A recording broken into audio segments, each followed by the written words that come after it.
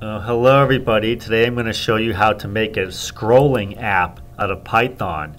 Have you ever had a web page you had to read like this where it's just, you know, an absolute ton of text and you know, you don't want to sit there keep pushing the arrow buttons and keep scrolling. You um, you know, you just want to be able to read and the computer can kind of scroll down like that as you read. Well, very simple to do this in Python. You import Py Auto GUI and make sure it's installed first before you import it. Then maybe create some variables. Um, let me see. Am I using? Okay. Time equals input. Uh, how fast should it scroll? Something like that. Perhaps this should be speed speed, and um, yep, you know, that should be all I need. See if I figure out anything else later. But now I'm just going to do pi auto GUI dot sleep and I'll do say three seconds. This will give me a moment to get to my page after I run the app.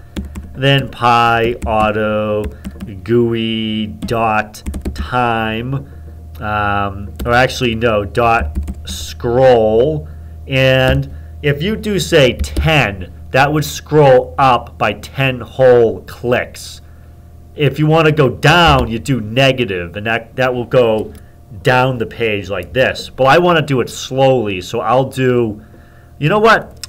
I'll say um, I'm going to put speed in here anyway, because I'm going to input the speed right there. And so then I'll say, you know, just Py auto GUI dot sleep, and I'll sleep it for, you know what, let's do another one.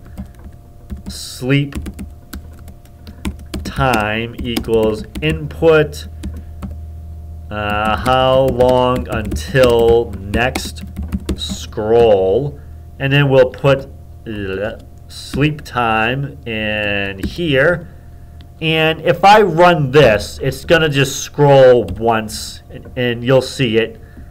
It'll be quick. So how fast should it scroll? I'll do you know negative 20 because I want you to see it. And then until next scroll 1. This actually isn't going to work immediately. Oops. Oops, sorry, I made a had an error. It's supposed to be time dot sleep. Sorry about that. Time dot sleep. Okay, let's try again. 10, enter, you know, whatever, 10 again. And this is going to take a big scroll. See that? It just scrolled up. But if you want it to keep going, then all you do is you basically make an infinite loop. So while 0 is less than 10, which it always will be, we're just going to keep running through this code forever. You know, this code is just going to keep executing. It's going to let's move sleep out of here because I want sleep to be the initial, um, you know, right after I hit the inputs, I want time to go to the web page, so to sleep for three seconds. But this is just going to scroll at your speed, then it's going to sleep at the speed, you know, the, the amount of time you set it to sleep for here, and it's just going to keep repeating forever until you break the loop. So I'll do run. This time I'm going to do negative 3 for a scroll speed, and I'll do a one second pause in between each scroll and it's just going to keep doing this in perpetuity. So I could read along.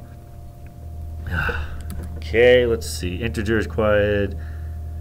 Go, oh, type string. Sorry about that. Look at me and my errors. Okay, so let's put this as int. Cast this as an integer. All right, let's let's do this again here. Okay, how fast should it scroll? Negative three time till next scroll is one. Now it should be, it should just do it infinitely. See that? It's just going to keep doing this until I stop it. And this is great because I can read the web page and I don't have to get carpal tunnel syndrome constantly scrolling down with the mouse or hitting the arrow. And to stop it, you move the mouse to the upper left corner of the screen, and that's a failsafe that will cause the app to, the app to crash. You know, that's just how you stop it. So I'm going to do this again. I'll do a more reasonable speed, negative one. That'll be slow. And I'll do a four second pause in between each scroll. And this will be nice and slow. See that? It'll pause for four seconds, then it will scroll again. You know, pause for four seconds, scroll a little bit again. And it'll just keep on doing this until I move the mouse to the upper left corner of the screen, which will crash the program. You'll see it, it crashed. And that's it. I mean, that's a um, an auto scroll program that you can do very easily. I mean, you saw me whip this up in a, a matter of minutes, and I no longer have to scroll by hand. See, that's great. I'm not I'm not touching the, the mouse or the arrows. The computer's doing this itself. I'll just scroll through all the stuff and read it as it's scrolling. Thanks for watching. I'm going to start making tutorials again. It's kind of been a while for me. It's been over a year, but I'm going to get back into the game and make some more tutorials. So thanks for watching. Have a good day. Bye-bye.